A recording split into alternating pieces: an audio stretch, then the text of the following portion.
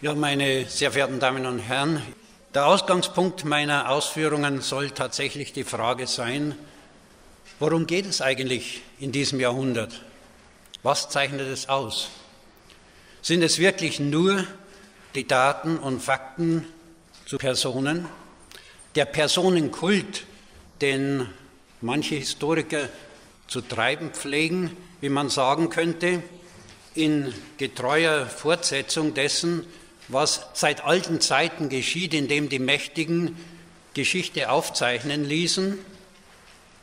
Und diese Aufzeichnungen werden dann ausgewertet, werden weitergesponnen und bilden das Kerngerüst des Selbstverständnisses der Geschichte.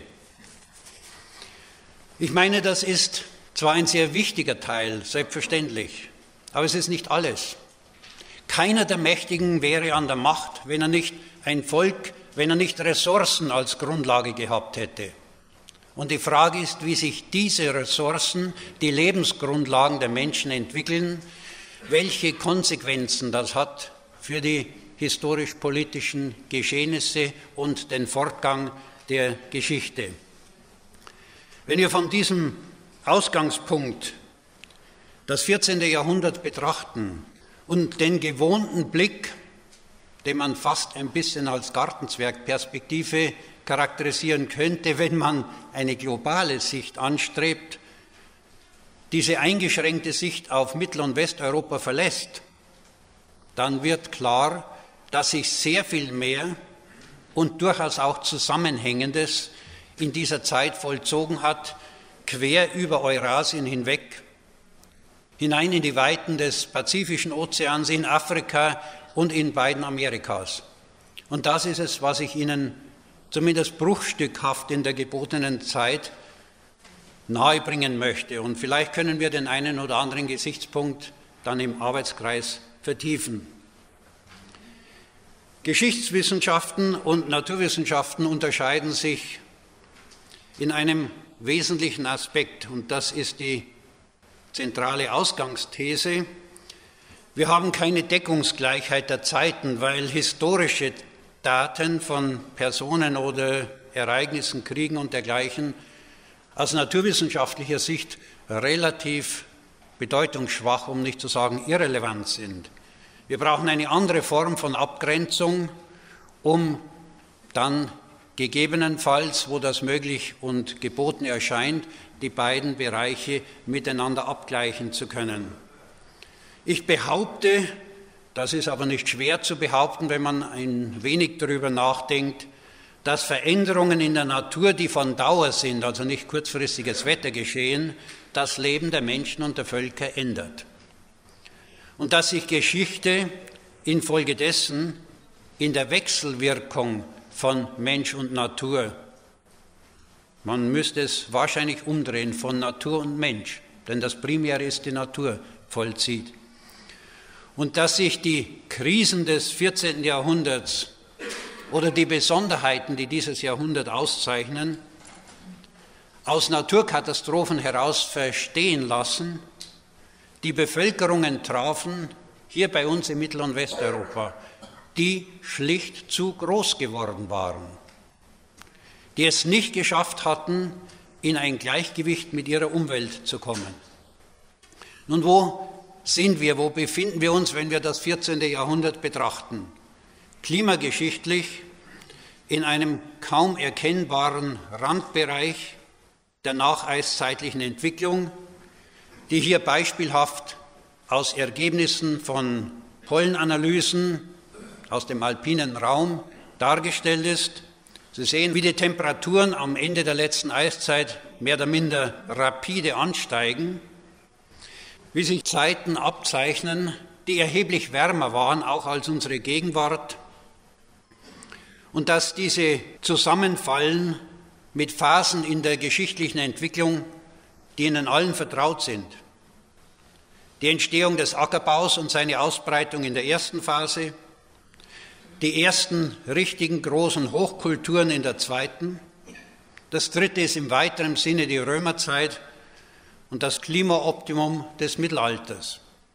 Und am Rande dieses Klimaoptimums, im Herbst des Mittelalters, wie Die historische Bezeichnung lautet, befinden wir uns auf dem Weg in die Gegenwart. Das ist die zu behandelnde Zeit. Als ein kleiner Ausschnitt aus einem großen Prozess. Wenn wir die letzten 2000 Jahre in Bayern auf dieser Basis betrachten, dann können wir festhalten, die Römerzeit bis etwa 250 nach Christus war eine ausgeprägte Warmzeit, was bedeutet, dass sie günstig war für die Menschen, für die Bevölkerung. Die Völkerwanderung in unserem Verständnis gehört in die rund 500 Jahre währende Kaltzeit, die auf diese Warmzeit folgte. Das Mittelalter, wie ich schon betonte, das Hochmittelalter speziell, war eine ausgeprägte Warmzeit, das Spätmittelalter und die frühe Neuzeit eine Kaltzeit, die charakterisiert ist seit langem mit dem Ausdruck die kleine Eiszeit. Und in der Gegenwart befinden wir uns wieder in einer Warmzeit. Gemeinsames Kennzeichen ist, aber ich betone das, und Sie werden verstehen warum, dass das auf unsere Verhältnisse hier bezogen als Aussage gültig ist, dass die warmen Zeiten gute Zeiten waren für die Bevölkerung, die Kaltzeiten jeweils die Katastrophen gebracht hatten. Und das 14. Jahrhundert war in der Tat die Zeit mit der größten Dichte an Katastrophen. Wir können das in etwas verfeinerter Form anhand einer Kurvendarstellung nachvollziehen, die sich auf den Alpenraum bezieht, diese blaue Kurve, und wiedergibt, weil dafür recht gute historische Aufzeichnungen vorliegen, wie sich die Stände der Gletscher in den Alpen, speziell in den Schweizer Alpen, wo die besten Aufzeichnungen hierüber vorhanden sind, entwickelt haben. Nach oben gehende Werte bedeuten also Vorstöße der Gletscher, Höchststände, Zurückweichende Warmzeiten, Gletscher schrumpfen und verschwinden großteils. Auch hier zeigt sich, dass das Hochmittelalter eine ausgeprägte Warmzeit war, in der zumindest phasenweise, und das sollte man buchstäblich hinunterschlucken, Wein aus Bayern nach Italien exportiert wurde. In der kleinen Eiszeit entwickelte sich dann so richtig erst die bayerische Bierkultur. Auch wieder aus naheliegenden Gründen, denn dann wurde es möglich, das Bier zu kühlen und entsprechende Verfahren lohnten. Ich will das nicht weiter ausführen, denn es würde den Horizont, der von der Zeitspanne eines Jahrhunderts abgesteckt ist, sprengen. Aber darauf hinweisen, in welche Phase die große Pest von 1347 bis 52 fällt. Sie sehen das an dem Pfeil. Und mit den HWs bezeichnet die stärksten historischen Hochwässer. Nach hier können Sie sehen, sie treffen in die Zeiten, in denen die Gletscher vorgestoßen sind, Höchststände erreichten und nicht in die Warmzeiten. Auch das gibt bereits einen klaren Zusammenhang, inwiefern und in welchem Umfang die Entwicklung der Witterung und wenn es sich um längere Zeitspannen davon handelt, des Klimas Einfluss genommen hat und sich auch in Zukunft in gewissem Umfang nehmen wird, auf die agrarische Produktion und damit auf die Grundlagen der menschlichen Existenz. Und dieser Bereich, der jetzt hier eingerahmt ist, ist die fragliche Zeitspanne. Mit dieser haben wir uns zu beschäftigen. Das ausgehende Mittelalter, der Herbst des Mittelalters ist also einzuordnen zwischen die Warmzeit des Hochmittelalters, betrifft ein Jahrhundert massiver Eisvorstöße, vor allem zwischen 1350 und 1450, ist charakterisiert, auch das ist historisch gut dokumentiert, durch große Rodungen, die im Wesentlichen die heutige Flurfeld-Waldverteilung erzeugt hatten, eingeschlossen die Wüstungen, also jene Gebiete, die wieder aufgegeben werden mussten, weil sich die Witterung, weil sich das Klima entsprechend verschlechtert hatte. Und es war gekennzeichnet, die ausgehende Warmzeit durch die Vorstöße von Europäern nach Osten, das werde ich Ihnen etwas genauer darstellen, was oft wenig beachtet wird, die Ostkolonisation, und umgekehrt das Vordringen von asiatischen Völkern aus dem Osten. Es war die Zeit, die auslaufende Zeit der Kreuzzüge und das, der Beginn des Erstarkens der Türken, gleichsam als Erbe der Mongolen. Ich hoffe Ihnen verständlich machen zu können, dass eine gewisse Systematik hinter diesem Geschehen steht, angetrieben und kanalisiert von den Veränderungen und den Rahmenbedingungen der Witterung. Ablesen lässt sich das an der Entwicklung der Bevölkerung.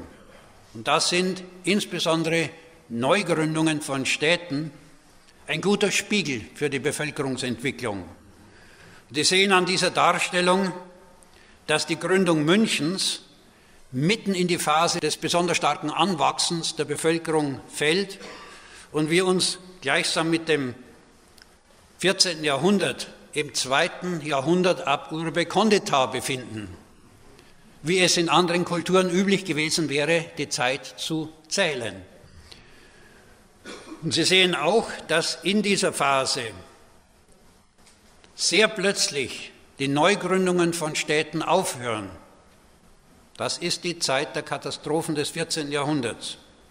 Und als Beispiel unmittelbar davor der Bau der steinernen Brücke in Regensburg war geboten buchstäblich durch extreme Niedrigwasserstände der Donau.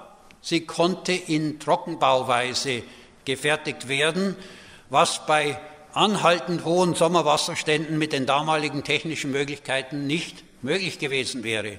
Eines von beliebig vielen Beispielen, die zeigen, in welchem Zusammenhang naturgegebene Verhältnisse und kulturelle oder wirtschaftliche Entwicklungen stehen. Wie sah es aus im Reich an dieser Wendezeit vom Hoch- zum Spätmittelalter? Sie haben auf dieser Tagung bereits eine Reihe von Karten zu sehen bekommen. Ich will und kann die hier auch gar nicht weiter groß kommentieren, sondern sie lediglich als Grundlage bieten für das Phänomen, um das es dann gehen wird, nämlich dass die Grenze nach Osten weit weniger klar definiert war als nach Westen. Die politischen Abgrenzungen, anders ausgedrückt, verliefen sich im Osten in den Wäldern. Wir haben das im Falle Litauens gehört, dass die Ausdehnung dieses Großreichs, grob gesprochen fast von der Ostsee bis zum Schwarzen Meer, in der farblichen Darstellung natürlich einen anderen Eindruck erweckt, als das in der Wirklichkeit der Fall gewesen ist. Worum es aber geht, ist die grobe Feststellung, grob muss sie sein, weil es an entsprechenden Daten natürlich mangelt im heutigen Sinne.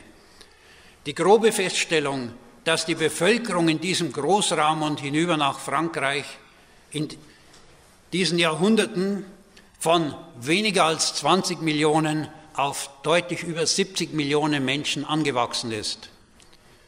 Wenn Sie berücksichtigen, wie viele Menschen gegenwärtig im deutschsprachigen Raum leben, dann können Sie vielleicht ermessen, was unter den heutigen Bedingungen für Anforderungen an die ganze Logistik der Nahrungsmittelerzeugung, Beschaffung und Verteilung gerichtet sind, um diese Menschenmassierung zu ernähren. Was das unter den Verhältnissen des Spätmittelalters bedeutet hatte, können wir uns nur sozusagen theoretisch vorstellen, aber in der Praxis müssten wir wahrscheinlich nach Afrika gehen. Manche afrikanische Regionen spiegeln heute die Problematik einer viel zu groß gewordenen Bevölkerung bei nicht ausreichend vorhandener Logistik für Verteilung der Nahrungsmittel. Und in diese Phase hinein traf die große Pest und verursachte einen mehr oder minder großen in der Gesamtmenge der betroffenen Menschen umstrittenen Rückgang der Bevölkerung. Ich glaube nicht, dass Barbara Tuckman oder Tuchmann, wie wir sie auf Deutsch nennen dürften, mit ihrer Feststellung, dass ein Drittel oder mehr der Bevölkerung von England bis West Indien, also das westliche Indien, der Pest zum Opfer gefallen ist. Das ist wahrscheinlich übertrieben, aber ein Fünftel bis ein Viertel wird es wohl gewesen sein. Das war aber nur das Vorspiel für eine Entwicklung, die dann die eigentliche kleine Eiszeit kennzeichnete und die Sie kennen aus Bildern wie etwa von Peter Bruegel dem Älteren. Das Bild Jäger im Schnee enthält etwas, was eigentlich verwunderlich sein sollte. Das ist nicht die Jagdpartie mit, den, mit der Hundemeute, sondern dass die Leute auf dem Eis unten Schlittschuh laufen und in anderen Bildern von Aberkamp beispielsweise auch Eishockey spielen. Das lernt man nicht in einem Kältewinter. Es gab deren viele und das ist historisch gut dokumentiert am, an der Sägefröhne des Bodensees und anderer Seen der Bodensee fror zwischen 900 und 1250, wie Sie sehen, nur viermal zu, im 14. Jahrhundert aber fünfmal und in der Zeit der kleinen Eiszeit 28 Mal und seit 1800 dreimal. Allein solche Extremereignisse, die natürlich besser dokumentiert sind in den Quellen als die normale Winterwitterung oder die normalen Verläufe der Witterung im Jahr zeigen, dass sich hier etwas angebahnt hatte im 14. Jahrhundert, was dann wirklich einen massiven Rückschlag auch und gerade auch für die Nahrungsmittelproduktion im Spätmittelalter und in der frühen Neuzeit bedeutete.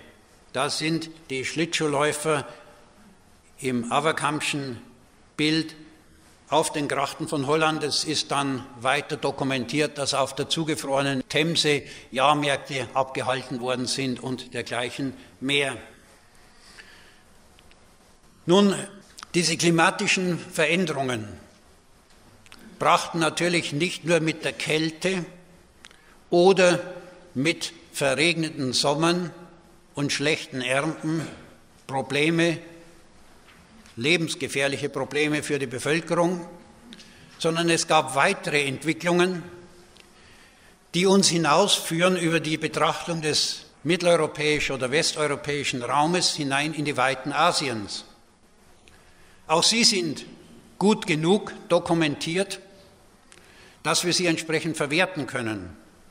Das sind die Masseneinflüge von Wanderheuschrecken die dann auch in manch gutem Sommer die Ernten vernichteten und die Bevölkerung erneut Hungerperioden aussetzten in Phasen, in denen es eigentlich wieder hätte besser gehen können. Und wenn wir das, was ich Ihnen für die Gletscher dargestellt hatte, das ist eine Kombination von Temperatur- und Niederschlagsverhältnissen, die Eis bilden oder Eis schmelzen lassen. Denn man braucht die Niederschläge dazu, dass die Gletscher wachsen können. Wenn man das umdreht, also den Wärmeindex darstellt, wie hier geschehen, und die Einflüge der Wanderheuschrecken entsprechend einträgt, dann sehen Sie, die Heuschrecken sind immer dann gekommen, wenn es klimatisch schlechter ging. Und das scheint nun ein Widerspruch zu sein, denn die Heuschrecken sind als Insekten ja auch wärmebedürftig. Aber dazu müssen wir berücksichtigen, wo sie herkommen. Sie kamen, das wissen wir, aus den pontisch-sarmatischen Steppengebieten, also aus dem Osten, aus dem östlichsten Randbereich Europas und den Grenzzonen nach Innerasien. Warum kamen sie? Weil schlechtes Wetter, um es einfach auszudrücken, bei uns hier bedeutet hatte, dass es reichlich Niederschläge in diesen Steppen- und Halbwüstenregionen gegeben hatte. Reichlich Niederschläge bedeuten gutes Wachstum. Gutes Wachstum fördert die Massenvermehrung der Heuschrecken. Und anders als bei der Pest, auf die ich nur am Rande eingehe, weil Herr Bergtold ja dann einen ausführlichen Vortrag darüber halten wird, reagieren die Heuschrecken direkt mit ihrem Kommen auf die Witterungsverhältnisse ohne nennenswerte Verzögerung, während die Pest, die Pesterreger mit gewissen Verzögerungen, weil sie Träger brauchen, zu uns erst kommen konnten. Aber der Zusammenhang ist nun deutlich genug und lässt sich ausspinnen, dass im Hochmittelalter die Mongolen so sehr erstarken konnten, dass sie das größte zusammenhängende Weltreich aller Zeiten schufen, lag daran, dass es in den zentralasiatischen Steppen reichlich geregnet hatte, dass sich ihre Pferdeherden entsprechend vergrößern konnten, ihre Ressourcen, die Lebensgrundlagen sich so sehr verbessert hatten, dass ein Volk erstarkte, das normalerweise, wenn man den langfristigen Gang der Klimageschichte betrachtet, eher am Rand der Existenzmöglichkeiten gelebt hatte.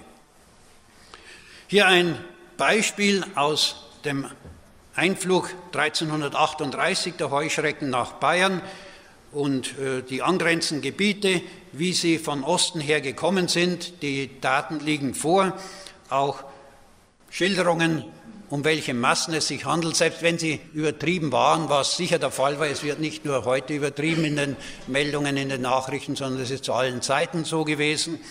Die Menschen brauchen die Übertreibungen ganz offensichtlich. So steht doch außer Zweifel, dass diese Heuschreckeneinflüge massive Ernteverluste verursachten.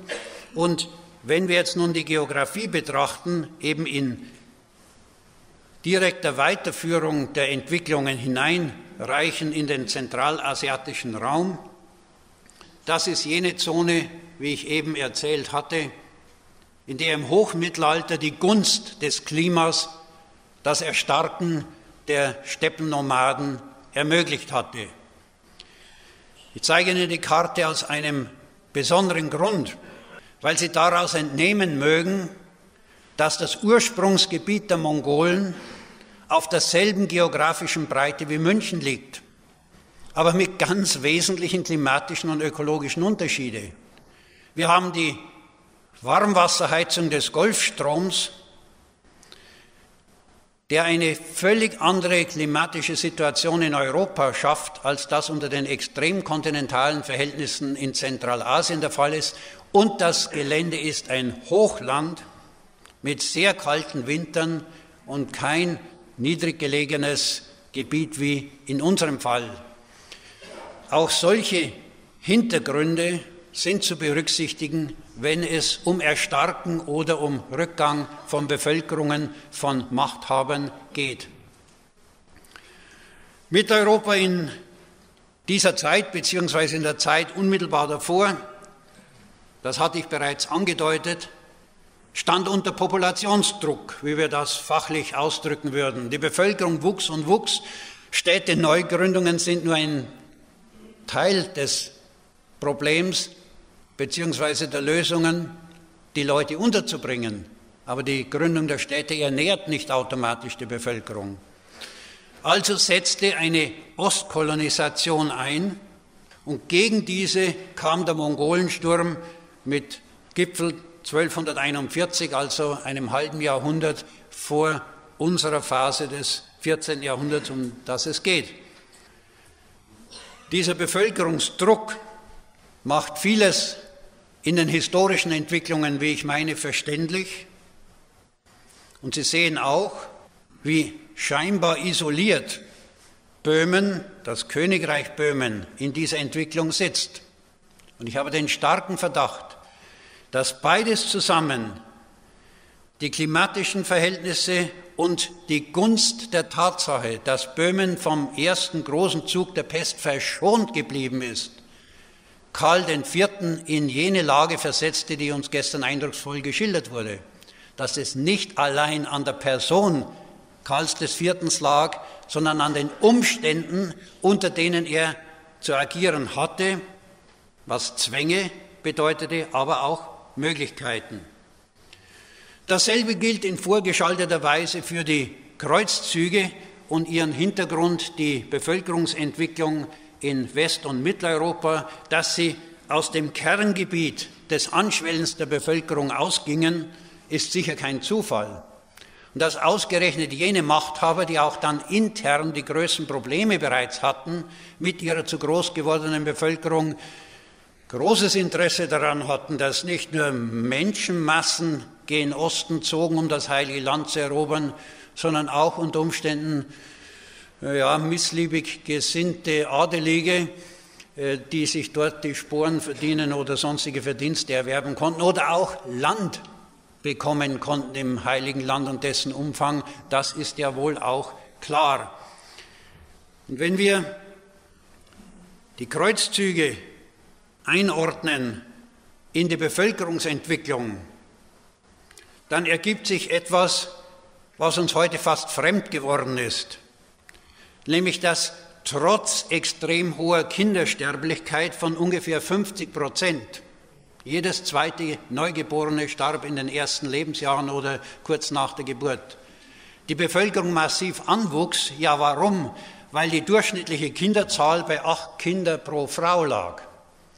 Das ist immer noch zwei zu viel, um die Bevölkerung auf einem halbwegs konstanten Niveau zu halten, was etwa 2,2 bis 2,3 Kinder pro Frau bedeutet hätte.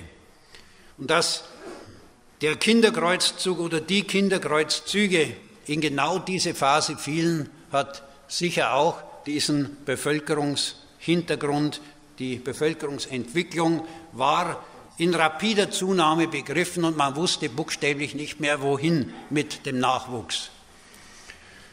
Nun könnte man meinen, das alles ist ja ein Spezialphänomen Europas und der Gartenzwergblick ist absolut gerechtfertigt, weil hier offensichtlich doch ein zumindest kontinentweites Geschehen seinen Brennpunkt hatte an dieser westlichen Halbinselperipherie Asiens. Aber dem ist nicht so. Wenn wir nach Amerika hinüberschauen, das nun tatsächlich keine direkte Verbindung in jener Zeit mit Europa oder Asien hatte, dann gab es ähnliche Phänomene, auf die dann diejenigen, die den Arbeitskreis am Nachmittag besuchen, mit mir zusammen vertieft eingehen können. In den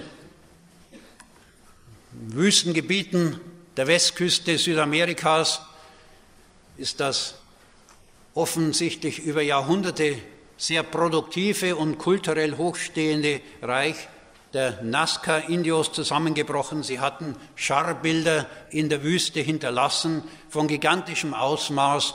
Der Kolibri, den Sie hier sehen, hat etwa 180 Meter Länge und man fragte sich lange Zeit, weshalb werden derartige Riesenbilder erzeugt, wenn man sie am Boden gar nicht sehen kann. Das ist sozusagen etwas, was ich Ihnen schmackhaft machen möchte für die Diskussion am Nachmittag. Ich erkläre es Ihnen hier nicht. Was Sie sehen sollen im globalen Geschehen ist, dass das, was sich in Europa vollzogen hat, keineswegs isoliert ist. Wenn wir Amerika betrachten, das einen großen Vorteil mit sich bringt, weil es von Nord nach Süd sich praktisch, grob gesprochen, fast vom Süd Polargebiet bis zum Nordpolargebiet erstreckt, dann sehen wir eine mehr oder minder kontinuierliche Abfolge des Unter- und Niedergangs von Hochkulturen bzw. Kulturen, beginnen 650 mit den Nazca, 800 die Mayas, 1300 die Anasazi, Indianer in Nordamerika und schließlich der Untergang der Wikinger, der ab 1350 einsetzte, nachdem sie Jahrhunderte erfolgreich in Grönland gesiedelt hatten. Wir sind also tatsächlich im 14. Jahrhundert in einer Wendezeit, die charakterisiert war nicht nur durch die massiven Schwankungen und Wetterverschlechterungen zwischen 1350 und 1450 in Europa, sondern global. Und dazu jetzt nun ein paar weitere Hinweise auf das Geschehen. Europa verlagert sich zunehmlich in seinem Machtzentrum an den südwestlichen Rand, drängt hinaus aufs Meer. Amerika wird entdeckt. Im Vertrag von Tordesillas wird die Teilung der Welt beschlossen. Man muss sich die Ungeheuerlichkeit dieses Vorgangs vor Augen führen. Die eine Hälfte den Portugiesen, die andere Hälfte den Spaniern. Gut, es war mehr oder minder symbolisch, aber das ist auch gut, dass es so äh, gewesen ist. Aber das Entscheidende war, dass diesen Entwicklungen, mit, die in der Entdeckung Amerikas in der Kolumbus-Ära gipfelten, nicht nur die klimatischen Verschlechterungen vorausgegangen waren, sondern damit verbunden gewaltige Hungersnöte wie die von 1309 bis 1317. Und das lässt sich durch Rekonstruktionen der klimatischen Verhältnisse über unabhängige Daten aus naturwissenschaftlichen Befunden sehr klar darstellen. Das ist das Geschehen im 14. Jahrhundert mit plötzlich eintretenden, überwiegend nassen und damit auch kalten Perioden mit wenig kurzen Erwärmungsphasen, während davor das mediterrane Mitteleuropa dominiert hatte, von rund 1200 bis fast 1350 herrschten eben diese mediterranen Verhältnisse, ein völlig anderer klimatischer Typ, der hier in Mitteleuropa die Rahmenbedingungen setzte. Mit dem Ergebnis, dass Ernten Geschichte machten. Nur ist das Problem zu quantifizieren, in welchem Umfang sie Geschichte gemacht haben, die Schwierigkeit, Getreidepreise etwa überhaupt zu ermitteln und lokale Stichproben entsprechend zu verallgemeinern. Wir sehen zwar, dass in den Getreidepreisen ein drastischer Anstieg für die damaligen Verhältnisse sicher ein bitterer im 14. Jahrhundert einsetzte, aber auch, dass die Preise zurückgingen. Logischerweise, als die Pest durchgezogen war, hatte die Bevölkerung weniger Bedarf. Richtig dramatisch wurde es dann erst im Kernbereich der kleinen Eiszeit mit Verteuerungen und entsprechenden Verlusten in der Bevölkerung, auch verbunden mit Pest und anderen Seuchenzügen. Etwas besser lässt sich das darstellen an der Entwicklung der Reallöhne. Aus der Veröffentlichung von Gregory Clark, A Farewell to the Arms, A Brief Economic History of the World, ist ersichtlich, dass tatsächlich um 1350 ein sehr plötzlicher, rapider Anstieg der Reallöhne einsetzte, der dann wieder zurückging und dann noch einmal stark anstieg in Nord- und Zentralitalien insbesondere und etwas zeitverzögert dann auch in den Niederlanden und in England. Die Datenlage ist natürlich unvollständig, ist dürftig, aber die Anzeichen sind klar genug, worum es sich handelt. Und in diese Zeit kamen verschiedenste weitere Katastrophen wie die größten historischen Hochwässer, gut dokumentiert an Pegelständen, an flussnahen Gebäuden. Die Flut von 1342 übertraf alles, was historisch registriert wurde, nicht nur in Europa, sondern auch in China und, wie es aussieht, ebenfalls in Nordamerika. Es gibt einige historische Bilder, etwa das überschwemmte Nürnberg bei dieser ja, 10.000 Flut, denn es ist nach den statistischen Berechnungen die Wahrscheinlichkeit, dass eine solche Flut einmal in 10.000 Jahren eintritt, dass derartig verheerende Überschwemmungen erzeugt wurden. Und es blieb nicht bei den Fluten der Flüsse, sondern es kamen auch die Sturmfluten. Wie Sie sehen, das ging dann im 14. Jahrhundert rapide los mit Sturmfluten, die bis zu 100.000 geschätzten Toten und mehr verursachten. Und die Anzahl schwerer Sturmfluten schaukelte sich auf, bis sie im 16. und 17. Jahrhundert gipfelte, aber das 13. und 14. waren die großen Vorläufer dieser Entwicklung. Und da wurde die heutige Form der deutschen Nordseeküste im Wesentlichen erzeugt was vorher Festland war, von Flussmündungen natürlich durchsetzt, wurde zu einem Inselgebiet, wurde zum Wattenmeer mit großen Flächen und Menschen und landwirtschaftlichen Landesverlusten. Sie sehen hier am 14. Januar 1362 die große Mandränke, die zweite Marcellusflut. In dieser Flut ging auch Rungholt unter, das war eine der ganz, ganz schlimmen Sturmflutkatastrophen an der Nordseeküste. An die 100.000 Tote sind geschätzt worden. Und so geht es weiter mit der Allerheiligenflut und den Nachfolgen 1570, 1634, 1717. Die Fluten, die das Gesicht der Nordseeküste formten, sind die Fluten der kleinen Eiszeit. Infolgedessen brach weil das 14. Jahrhundert nun überhaupt nicht vorbereitet war auf diese Katastrophen, die Bevölkerung nicht nur wegen der Pest massiv ein, sondern sie war bereits geschwächt, Verlusten unterworfen durch die Hungersnöte. Die Pest war die zweite Pandemie nach der Justinianischen 527 bis 565 und die letzte, der letzte große Ausbruch war 1771 in Moskau. Die Bevölkerung war viel zu stark angewachsen, das ist die entscheidende Aussage. Und was bei uns die klimatische Verschlechterung bedeutet hatte, war in den Herkunftsgebieten der Pest eine besondere Gunst der Lebensbedingungen für den Nager, für die Träger der Pestbakterien die dann über die Menschen, über Lungenpest als solche vergleichsweise blitzschnell verbreitet werden konnten, und zwar ausgehend von den Häfen, die mit Getreide aus dem Schwarzmeer- und Kaspisseegebiet beliefert wurden, Zwischenträger, die Ratten, aber entscheidend war die klimatische Entwicklung die es ermöglicht hatte, den Wüstenrennmäusen eine Massenvermehrung zu bescheren, den Hauptträgern der Pestbakterien, dass die Ratten infiziert und mit den Schiffen nach Europa transportiert werden konnten. Und es war dann tatsächlich eine Gunst der Umstände, dass Gebiete wie Böhmen nicht betroffen waren, aber sie waren die Gewinner. Sie waren die Gewinner dieser Katastrophen, wie es immer auch Katastrophengewinner gegeben hat.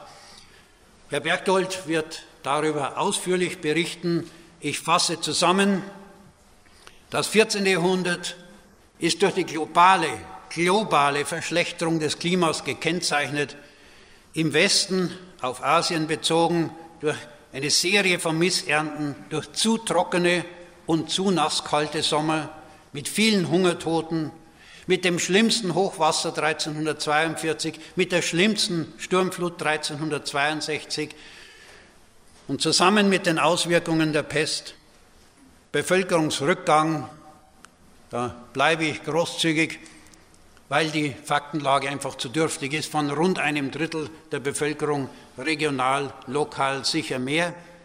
Im Osten hatten die verstärkten Niederschläge die Heuschrecken begünstigt, die direkt reagieren konnten, die Nager, die dann indirekt über die Verschleppung der Pest wirksam wurden, gute Ernten im südwestasiatischen Raum begünstigten die Ausbreitung und das Erstarken der osmanischen Türken und die Getreidetransporte nach Westeuropa waren letztlich entscheidend. Das Fazit Wetter, Klima und dann spezifisch Naturkatastrophen beeinflussen wesentlich nicht nur regional, sondern auch global die historischen Entwicklungen. Sie geben das, was, wenn wir die Geschichte als Fluss bezeichnen, die Uferstruktur vor. Was geboten wird im Rahmen der üblichen historischen Darstellungen, das sind die Wirbel, das ist das Gekräusel an der Oberfläche des Flusses. Aber wie stark er fließt und wohin die Richtung verläuft, das sind, so meine Schlussfolgerung, die ökologischen Vorgaben von Wetter, Klima, auch Übernutzung der Böden. Und deswegen konnte im 14. Jahrhundert die Pest zu einer solchen Katastrophe geraten, weil sich zu große Teile der Bevölkerung in zu schlechtem Zustand befunden hatten.